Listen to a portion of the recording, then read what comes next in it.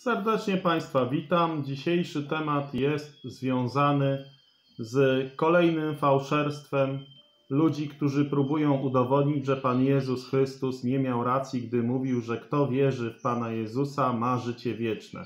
Bo Pan Jezus powiedział, kto wierzy we mnie ma życie wieczne. Czyli z tych słów jednoznacznie widzimy, że kto jest raz zbawiony, jest na zawsze zbawiony.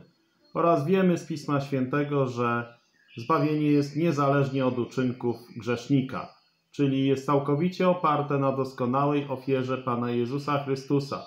Jeśli zatem zbawienie byłoby utracalne, to by oznaczało, że Chrystus nie jest doskonałą ofiarą oraz, że y, ta doskonała ofiara, co jest według Pisma doskonałą, raz na zawsze dokonaną ofiarą, jest niewystarczająca, jest za słaba wtedy oznacza to, że Chrystus umarł niepotrzebnie. No bo skoro nie wystarczy, no to po co umierał?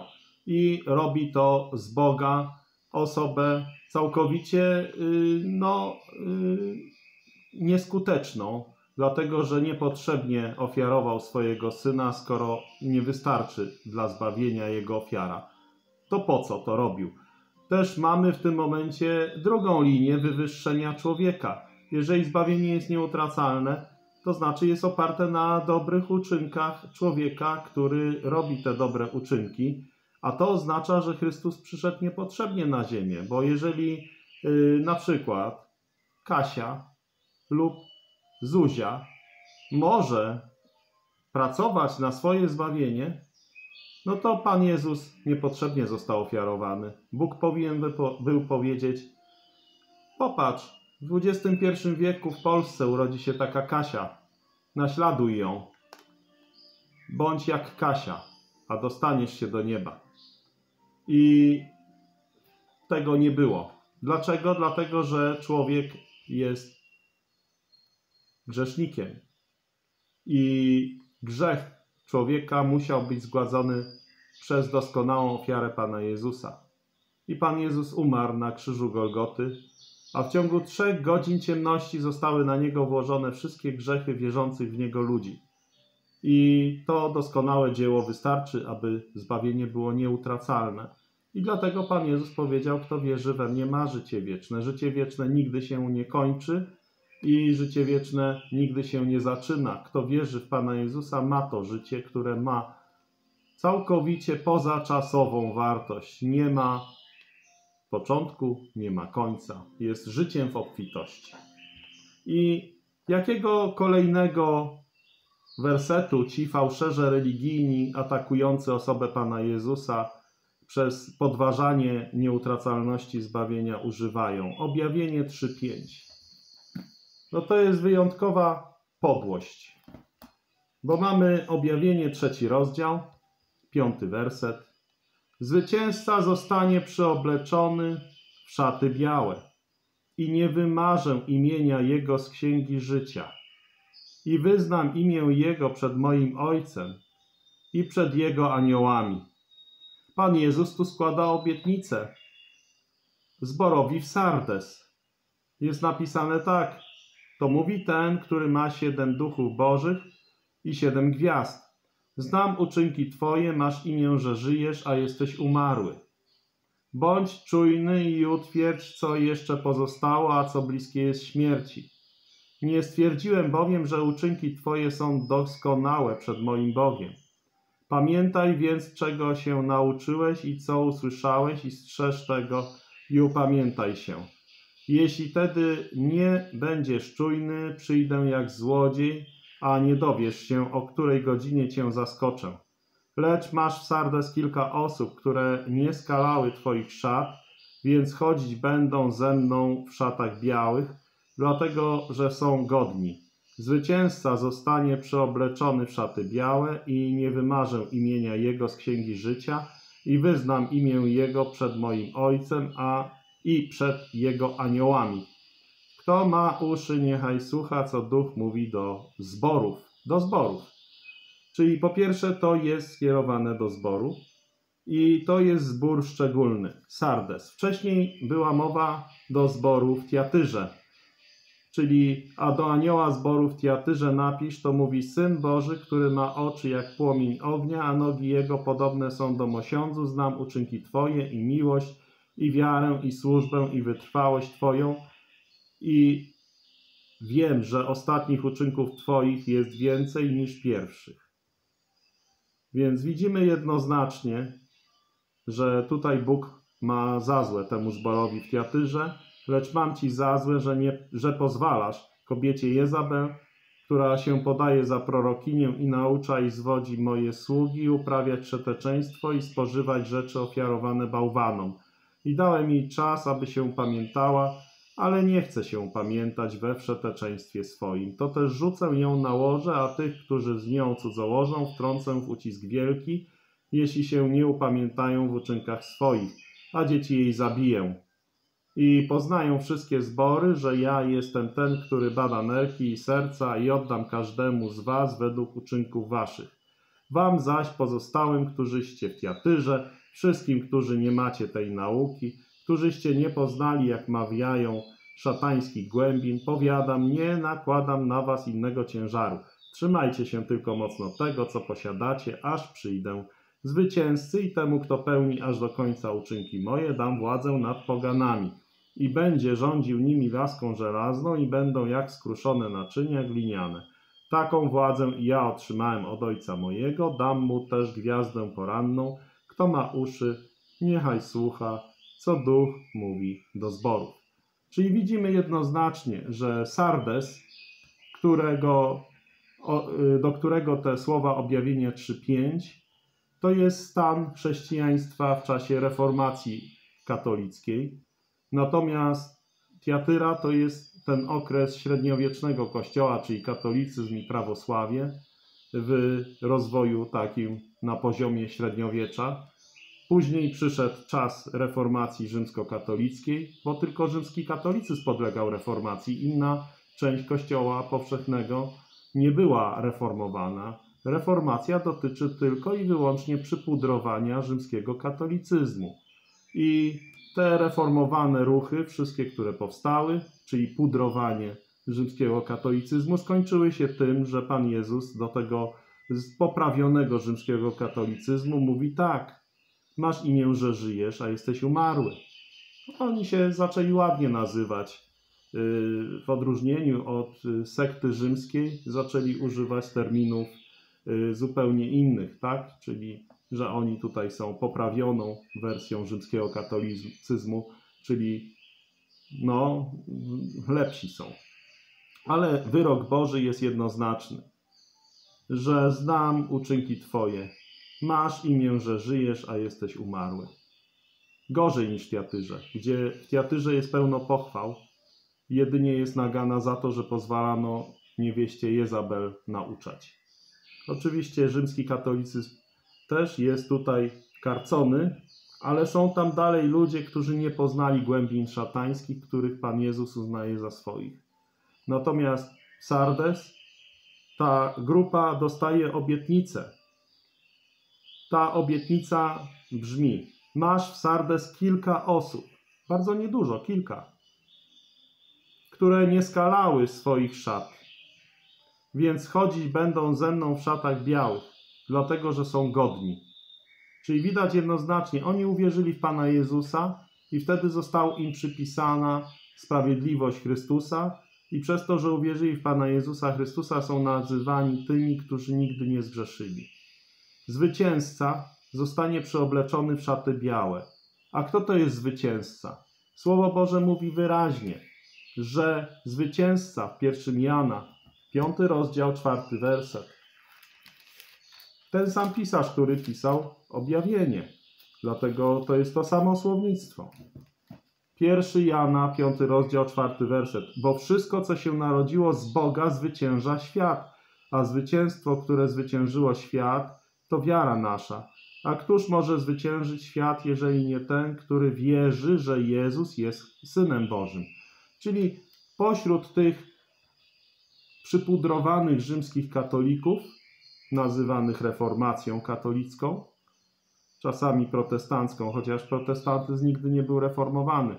y, jeśli już chcemy używać terminologii ścisłej, to reformacją protestancką są ruchy obecne, czyli że lesbijka zostaje pastorem, albo udzielanie związków małżeńskich y, człowieka z kozą. To jest poprawiona wersja protestantyzmu.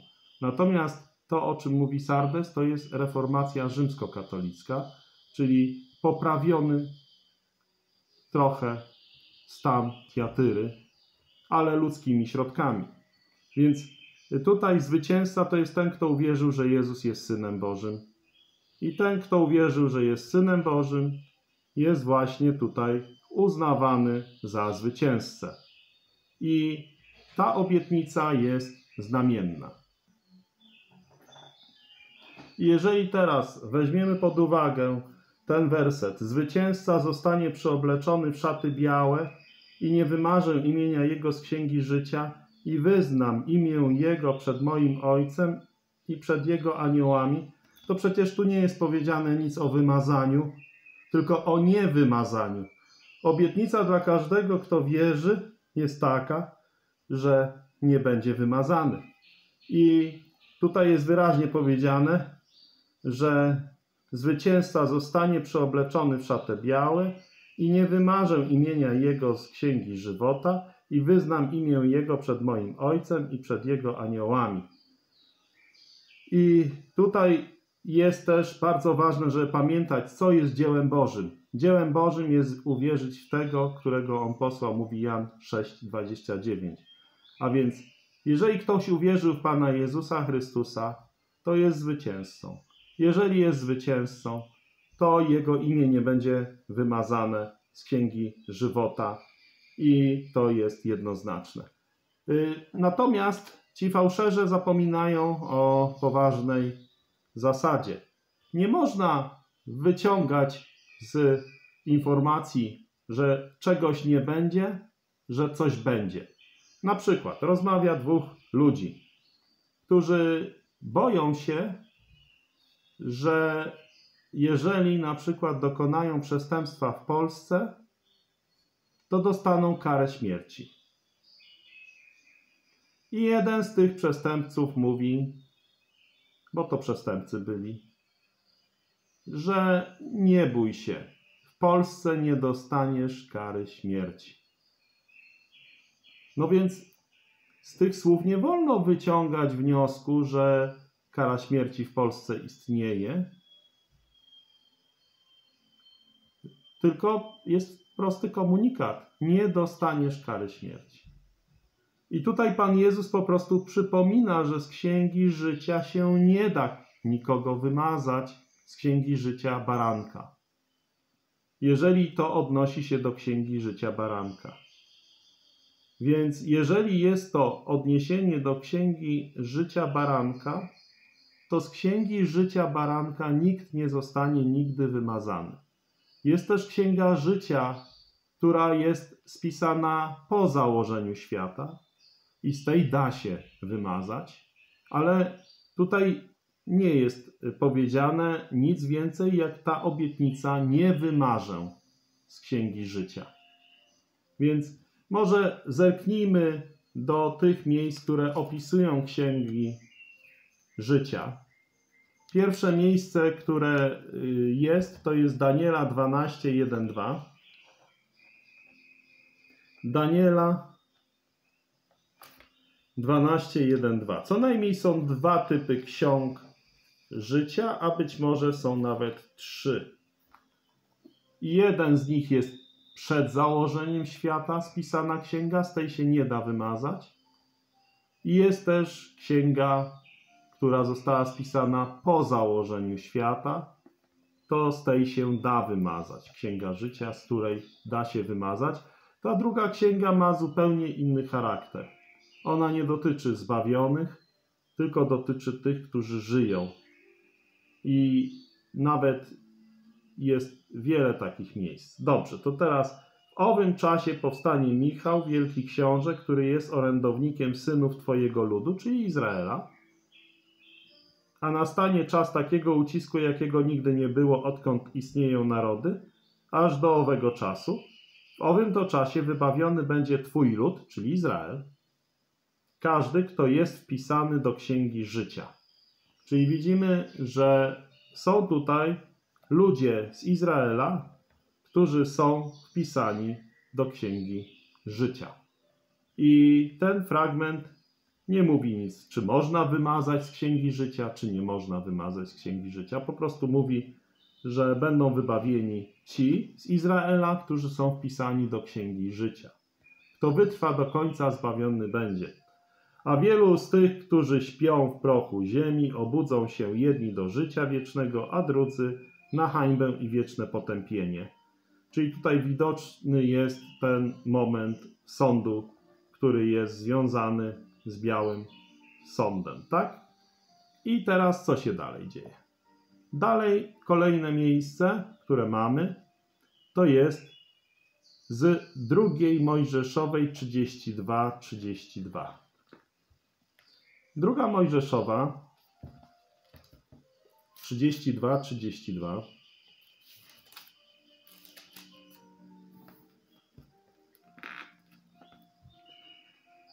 Jest tutaj pokazane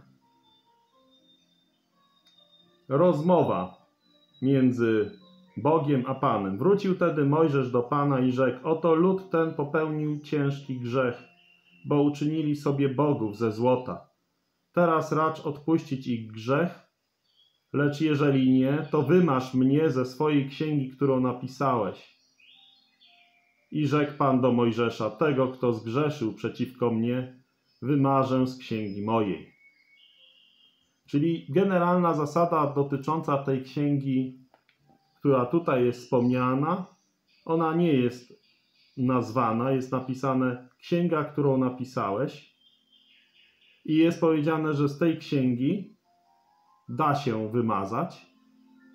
I o tym, że da się te księgi potem odczytać w czasie sądu, mamy napisane w objawieniu 20 rozdział.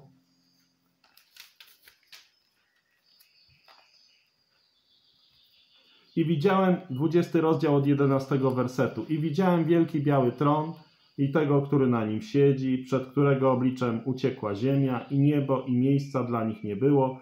I widziałem umarłych, wielkich i małych, stojących przed tronem, umarłych, nieżywych, umarłych, stojących przed tronem, i księgi zostały otwarte, również inna księga, księga życia została otwarta, czyli widzimy księgi, liczba mnoga zostały otwarte, również inna księga, odróżniająca się od tego, inna księga, księga życia została otwarta i osądzeni zostali umarli na podstawie tego, co zgodnie z ich uczynkami było napisane w księgach. Czyli widzimy jednoznacznie, że w czasie tego sądu jest pokazane, że te księgi będą używane, tak? I wydało morze umarłych, którzy w nim się znajdowali, również śmierć i piekło wydały umarłych, którzy w nich się znajdowali, i byli osądzeni każdy według czynków swoich. I śmierć i piekło zostały wrzucone do jeziora ognistego. Owo jezioro ogniste to druga śmierć. Jeżeli ktoś nie był zapisany w księdze życia, został wrzucony do jeziora ognistego. Jest to sąd, na którym nie będzie ani jednego chrześcijanina. Dlatego, że Pan Jezus powiedział, że kto wierzy w Pana Jezusa, nie stanie przed sądem. Czytamy o tym wyraźnie w Ewangelii Jana. Trzeci rozdział, szesnasty werset.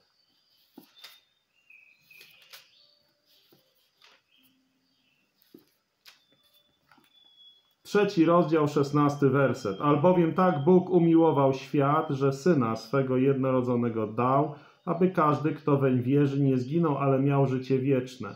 Bo nie posłał Bóg Syna na świat, aby sądził świat, lecz aby świat był przez Niego zbawiony. Kto wierzy w Niego, nie będzie sądzony. Kto zaś nie wierzy, już jest osądzony, dlatego że nie uwierzył w imię jednorodzonego Syna Bożego. Czyli widzimy wyraźnie, że na tym sądzie, gdzie będą te księgi otwarte, nikogo z chrześcijan wpisanych do księgi życia baranka nie będzie. A więc nawet jeżeli kogoś w tej księdze by y, w cudzysłowiu z chrześcijan nie było, to go i tak tam nie będzie na sądzie, więc nie będzie jak go wrzucić do jeziora ognia, bo on już będzie w niebie z Chrystusem. I powtórzona jest ta rzecz, kto wierzy w Syna ma życie wieczne, kto zaś nie słucha Syna nie ujrzy życia, lecz gniew Boży ciąży nad nim. I odnośnie obietnicy dotyczącej tego, że chrześcijanin ani jeden nie stanie na sądzie, jest jeszcze piąty rozdział, 24 werset. Znowu słowa Pana Jezusa, zaprawdę, zaprawdę, powiadam wam, kto słucha słowa mego i wierzy temu, który mnie posłał, ma życie wieczne i nie stanie przed sądem, lecz przeszedł z śmierci do życia. Widzimy, więc na tym sądzie, gdzie będą te księgi otwarte, ani jeden wierzący w Pana Jezusa się nie znajdzie. Kto wierzy w Pana Jezusa, nie stanie przed sądem. Taka jest gwarancja. Więc jednoznacznie widać, że to otwarcie księgi życia jest tam albo proforma, albo chodzi o tą księgę, te księgi otwarte, o tą księgę, która tutaj przez Mojżesza jest wspomniana i przez Pana, że tego, kto grzeszy, kto zgrzeszył przeciwko mnie, wymarzę z księgi mojej. Natomiast y, tego, kto zgrzeszył przeciwko mnie, wymarzę z księgi mojej, nie można zastosować do żadnego chrześcijanina, dlatego że kto uwierzył w Pana Jezusa, w tym momencie wszystkie grzechy chrześcijanina są złożone na Pana Jezusa, na krzyżu Golgoty w trzech godzinach ciemności. Wszystkie te grzechy są na Panu Jezusie i ani jeden grzech nie zostaje na chrześcijaninie. Czyli nawet gdybyśmy chcieli zastosować te słowa do chrześcijanina, to się nie da, bo z punktu widzenia tych słów, każdy, kto zgrzeszył, to Bóg chrześcijan traktuje jakby nigdy nie zgrzeszyli. Każdy, kto wierzy w Pana Jezusa, jest traktowany tak, jak gdyby nigdy nie zgrzeszył, dlatego że to Jezus stał się grzechem za każdego chrześcijanina. Więc jeżeli każdy, kto uwierzył w Pana Jezusa, ma swoje grzechy zgładzone w przypadku, gdy Pan Jezus umarł na krzyżu Golgoty, to ten fragment jest dla chrześcijanina tylko informacją techniczną, że są tacy, którzy za grzechy zostaną wymazani z tej księgi, natomiast nie dotyczy to chrześcijan. Kolejne miejsce, Psalm 69, 29.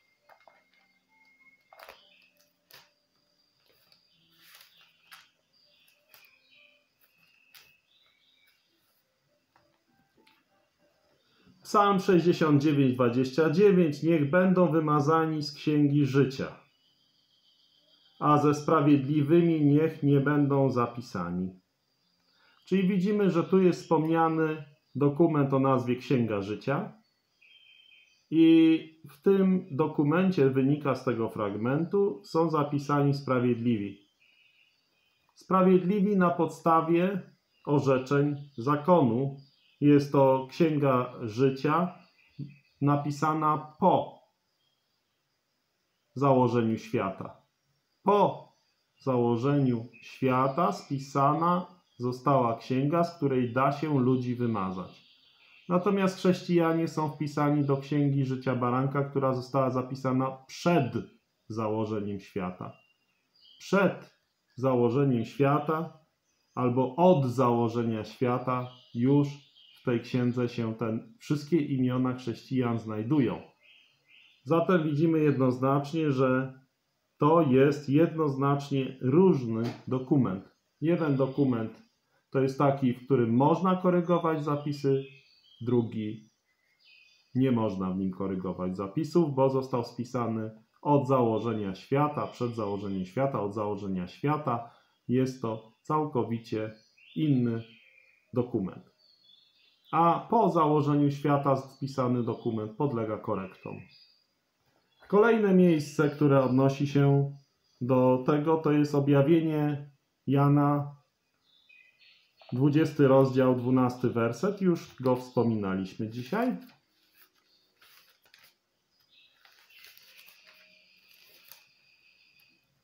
I widziałem umarłych wielkich i małych, stojących przed tronem i księgi zostały otwarte, również inna księga, księga życia została otwarta i osądzeni zostali umarli na podstawie tego, co zgodnie z ich uczynkami było napisane w księgach. Czyli widzimy, że tu stoją na sądzie umarli, a chrześcijanie są ożywieni w Chrystusie. Są żywi, mają życie wieczne, więc żaden chrześcijanin tam nie będzie stał. I piętnasty werset, jeżeli ktoś z tych umarłych nie był zapisany w księdze życia, został wrzucony do jeziora ognistego. Oczywiste, że żaden z tych umarłych nie był zapisany w księdze życia. To jest po prostu oczywista sprawa. Tylko chrześcijanie są w księdze życia, która tu jest wspomniana, na zapisani. I kolejna rzecz. Filipian, czwarty rozdział, trzeci werset. Filipian, rozdział czwarty,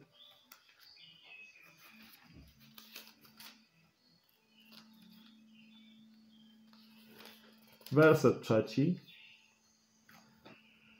Proszę Cię także, wierny mój towarzyszu, zajmij się nimi, wszak one dla Ewangelii razem ze mną walczyły wespół z Klemensem i innymi współpracownikami moimi, których imiona są w Księdze Życia.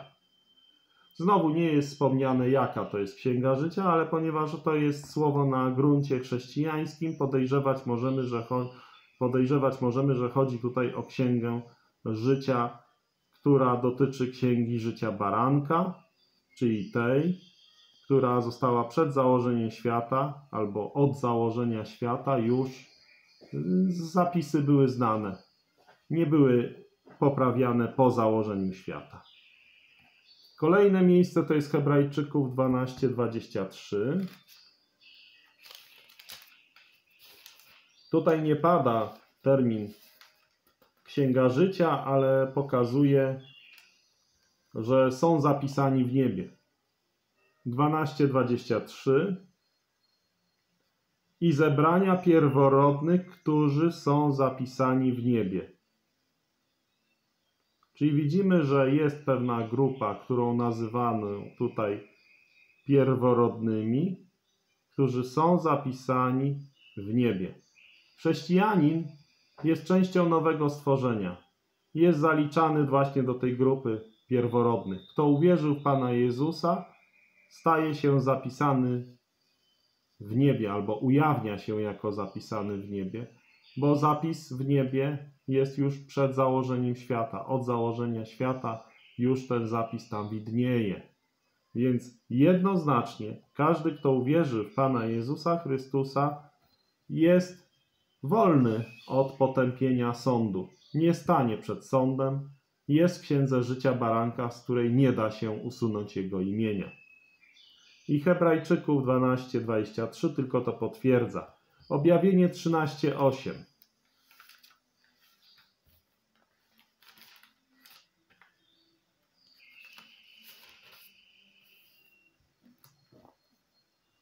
I oddadzą mu pokłon wszyscy mieszkańcy ziemi, każdy, którego imię nie jest od założenia świata zapisane w księdze życia baranka, który został zabity.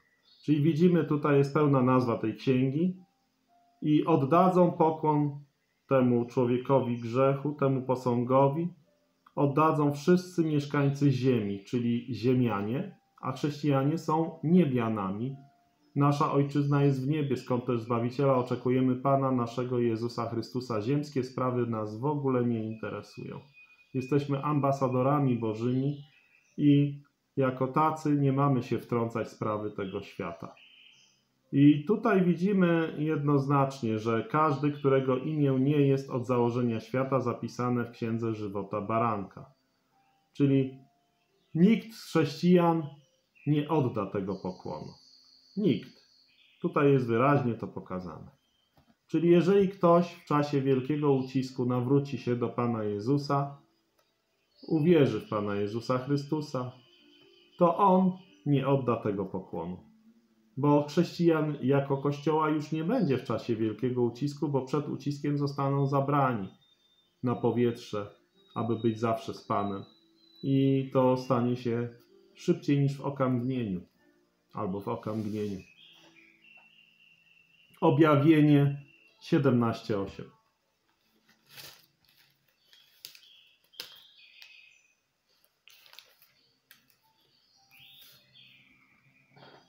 Zwierzę, które widziałeś, było i już go nie ma, i znowu wyjdzie z otchłani i pójdzie na zatracenie. Czyli widać, że chodzi o cesarstwo rzymskie, które było, ale potem go nie było, a potem znowu się pojawi pod koniec czasu. I zdumieją się mieszkańcy ziemi, których imiona nie są zapisane w księdze żywota od założenia świata, gdy ujrzą, że zwierzę to było i że go nie ma i że znowu będzie. Czyli jednoznacznie widzimy tutaj wspomniane o tym, że jest księga życia zapisana od założenia świata. Czyli ci, którzy nie byli w tej księdze, to się zdziwią. Dziwne, no nie? I teraz jeszcze objawienie 21-27.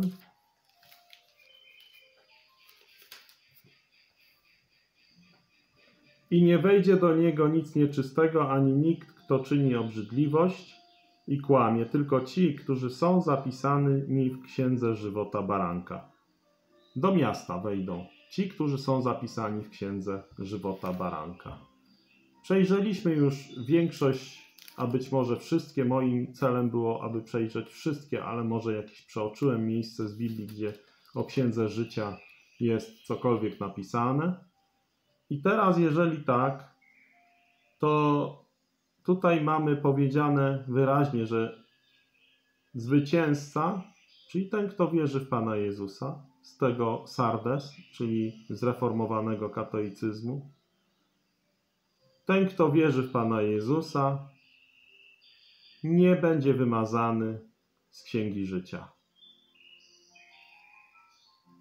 To jest po prostu przypomnienie gwarancji które ma każdy chrześcijanin.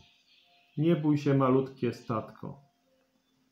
Upodobało się Ojcu dać wam królestwo. Pan Jezus tak powiedział do uczniów.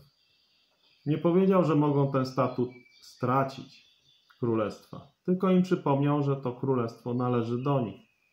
I Pan Jezus zawsze zaczynał każdą wypowiedź pocieszającą od słów w stylu pokój wam albo zapewnienie, różnego rodzaju. I tu jest kolejne zapewnienie, że kto uwierzy w Pana Jezusa, to jego imię nie będzie wymazane z księgi życia. Nie ma w ogóle takiej opcji, żeby z księgi życia było wymazane imię kogoś, kto uwierzył w Pana Jezusa Chrystusa, gdyż jego wszystkie grzechy są już zlikwidowane, są położone na Panu Jezusie, gdy on był w trzech godzinach ciemności na krzyżu Golgoty. Czyli grzech nie może być taką podstawą. Można by ewentualnie na sądzie wyegzekwować potępienie chrześcijanina, ale on się na sąd nie wybiera. On na sądzie nie stanie, bo Pan Jezus powiedział, że kto wierzy w Pana Jezusa, nie stanie na sądzie. Jest mnóstwo zapewnień, zabezpieczeń dla chrześcijanina i nie da się z objawienia 3.5 wyciągać z obietnicy nie wymarzę zagrożenia, że wymarzę. Ten oszust religijny, który użył tego fragmentu, powiedział, że jego zdaniem zbawienie można stracić, jak się przez długi czas trwa w grzechu. Ja go zapytałem, ile to jest długi czas. Nie chciał mi tego zdefiniować, ale powiedział, że na pewno dłużej niż miesiąc. I wyłania się teraz obraz takiego chrześcijańskiego w cudzysłowiu stylu życia według utracalnika tego oszusta religijnego. Czyli się taki gość tarza w błocie, bluźni Bogu przez miesiąc, nie dłużej niż miesiąc, miesiąc, potem obłudnie przychodzi niby do Boga się pojednać, odzyskuje zbawienie, potem znowu tarza się w błocie jak świnka przez miesiąc, Potem znowu wraca do Boga, udaje umytą świnkę. Potem znowu, jak pies, który zjada to, co zwymiotował, zjada to wszystko, co zwymiotował, przez miesiąc, nie dłużej. Potem wraca jako pies, który zwymiotował to wszystko. No, psy są fajne, można pogłaskać. Prosiaczki też są już coraz częściej w domach trzymane jako zwierzątka domowe. Też widocznie da się jakoś to y, polubić. I potem wraca znowu do błota albo do tego, co zwymiotował. To nie jest nic wspólnego z życiem chrześcijańskim. Czytaliśmy w Hebrajczyków szósty rozdział od czwartego do szóstego, że ci, którzy porzucają drogę Bożą, nie da się ich ponownie przywrócić, bo oni sami w sobie krzyżują ponownie Syna Bożego i wystawiają ofiarę Pana Jezusa na urągowisko i osobę Pana Jezusa na pośmiewisko. Więc nie ma takiej drogi w ogóle. Albo ktoś jest zbawiony, jest na, na zawsze zbawiony, nie traci zbawienia nigdy, żaden grzech nie jest w stanie. Albo jeśli zbawienie jest utracalne, to traci się zbawienie natychmiast, gdy choć przez milisekundę nie jest się doskonałym, jak Ojciec Niebieski doskonały jest. Przypomnę to miejsce. Skazania na górze. Jeżeli chcesz się dowiedzieć, za co możesz pójść do piekła, to kazanie na górze o tym mówi, czyli Mateusza, piąty, szósty rozdział.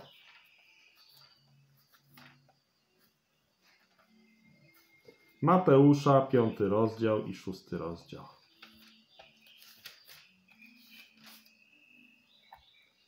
I tutaj końcówka tego szóstego rozdziału.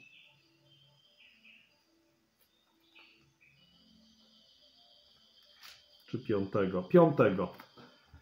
Bądźcie wy wtedy doskonali, jak Ojciec Wasz niebieski doskonały jest. Jest to przykazanie Pana Jezusa. Jeśli nie jesteś doskonały, jak Ojciec niebieski doskonały jest, zasłużyłeś tym, tą Twoją niedoskonałością na piekło.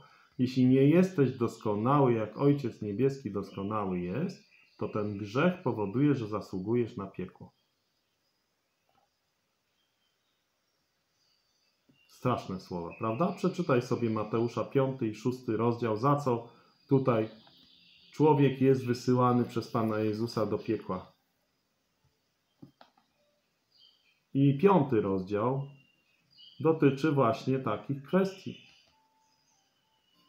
I wyraźnie jest powiedziane, na przykład 25, pierwszy rozdział 5, 25 werset 5 rozdziału a w zasadzie dwudziesty. Albowiem powiadam wam, jeśli sprawiedliwość wasza nie będzie obfitsza niż sprawiedliwość uczonych piśmie i faryzeuszów, nie wejdziecie do Królestwa Niebios. Czyli jeśli nie będziesz lepszy niż faryzeusz i uczony w piśmie, to idziesz do piekła, nie wejdziesz do Królestwa.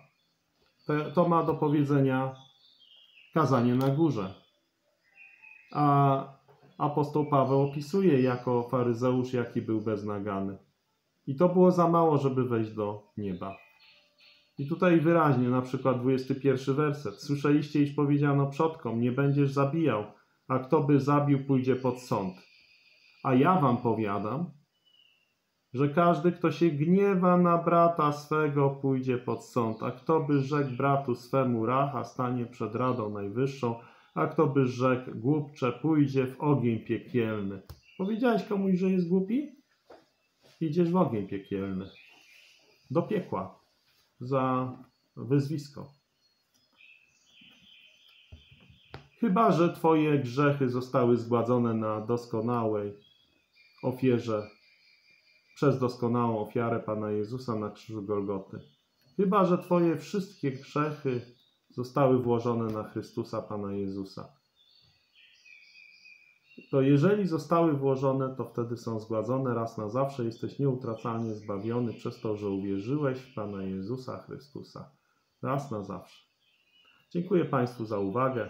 Nie dajcie się zwodzić różnym dziwnym koncepcjom. Zawsze czytajcie Biblię, Słowo Boże dookoła tego fragmentu, który różni zwodziciele używają, żeby Was okłamać.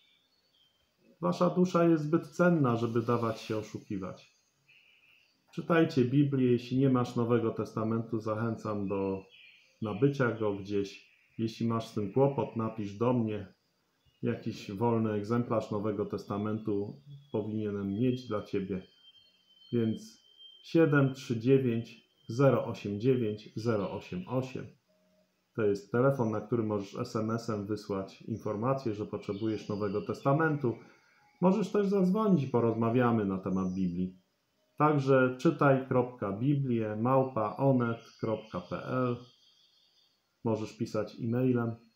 Możesz też napisać pocztą tradycyjną CMS, skrytka pocztowa 328 50950 Wrocław 68 albo czytaj Biblię, skrytka 31 63500 Ostrzeszów.